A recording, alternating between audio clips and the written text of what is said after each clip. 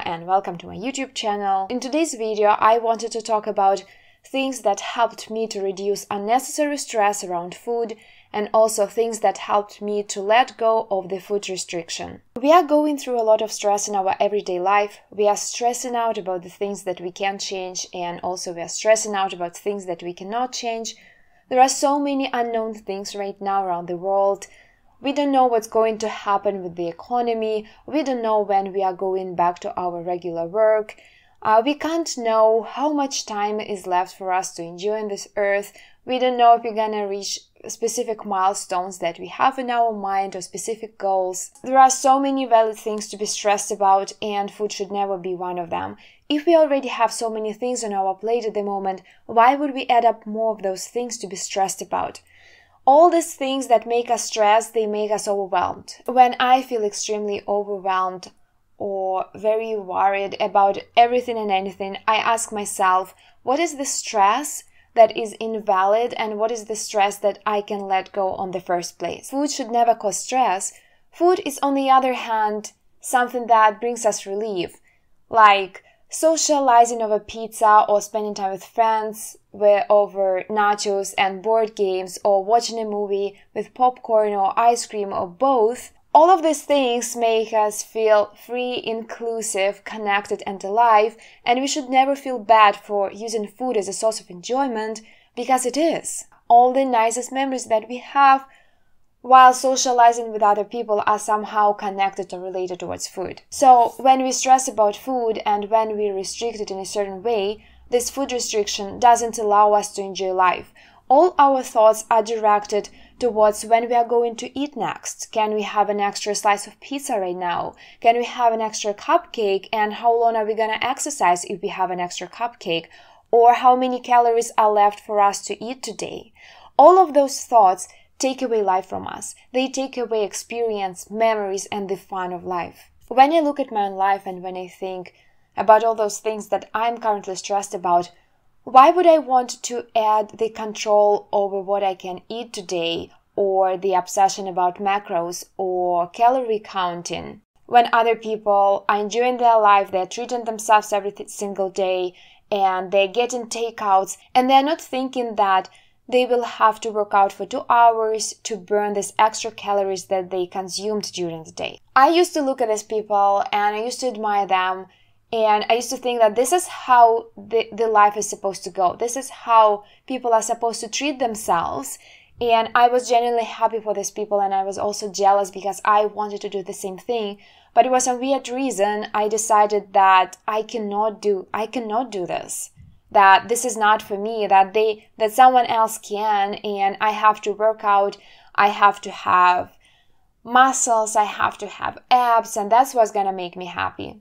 And then i just realized at some points that i had so much stress in our life that it started affecting my mental health and my physical health.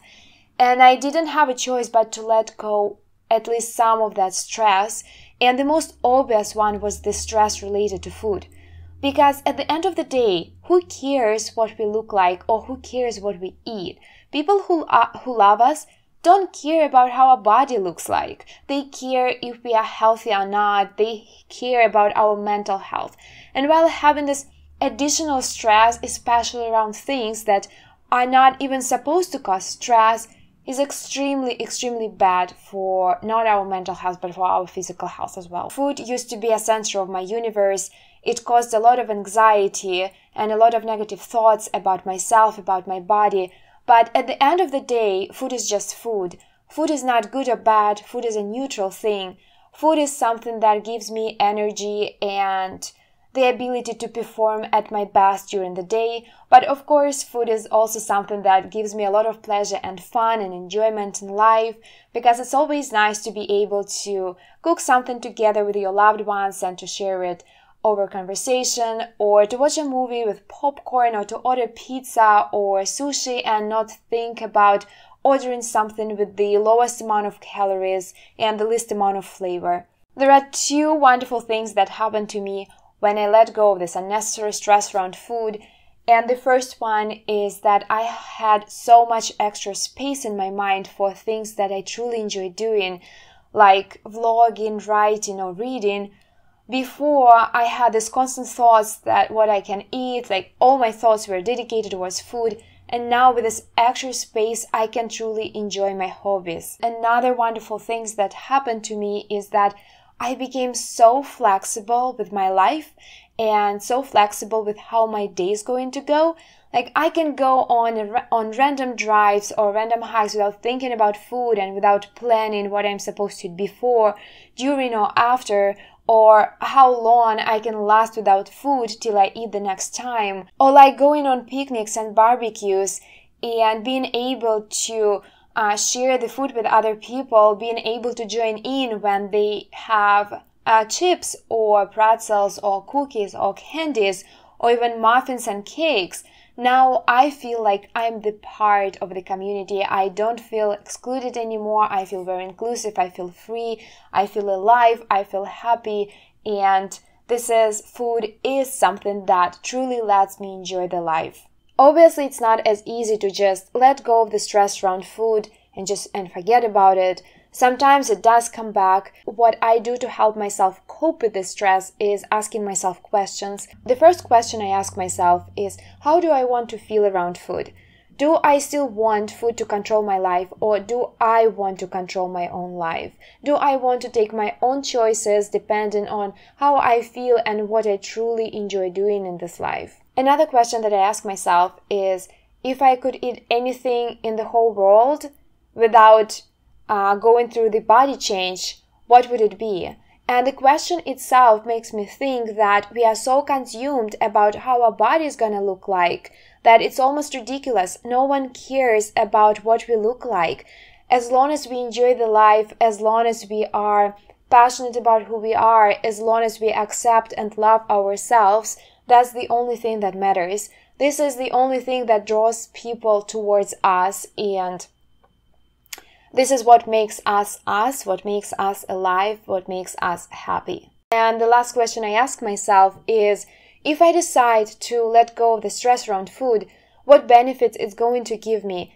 And of course, the first thing I think about is being free with food, uh, being uh, connected to other people, joining in and enjoying life, going on picnics and hikes, all those benefits that freedom around food gives you are uncomparable to any other thoughts about your body type, about how thin you are or how fit you are.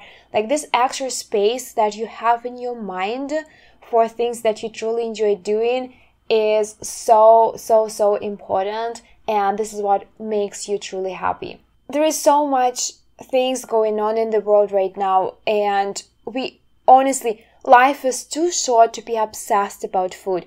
There are so many things that happening around the world right now and so many unknown factors and we honestly don't know how long are we supposed to live on this earth. So why would we torture ourselves? Why would we struggle? Why would we try to control what we eat just to for this short amount of time that our life is gonna last to look fit or to look uh, thin for not even for our own pleasure but for other people for the outside world our body is just a body our body doesn't define who we are but what we do and how we treat ourselves defines who we are how we treat ourselves also helps us to realize how we treat other people. So if we are compassionate and acceptive and loving towards ourselves, then we are the same way towards other people. When we let ourselves to finally start enjoying food and eat our satiety and whatever, like eat Twizzlers or eat random cookies or random cupcakes, uh, go for a drive and pick up some cake on the way back and also half a dozen of bagels. That is the best memory that you can have. That's the best way to be free and to be connected to the world. So this is all the advantages that I received when I let go of this restaurant food and also the control over food. And I really hope that this video could inspire you and show you that it is possible to be less stressed around food and how many benefits you gain when you let go of the food control and the restriction around food. If you would like to know more on how to build strong and positive relationship with yourself, how to be more loving, accepting and appreciating yourself, check out these two videos and don't forget to subscribe. It does help to support my channel. And that being said, I hope you guys have a positive day, a positive week and a positive life and I will talk to you soon. Bye.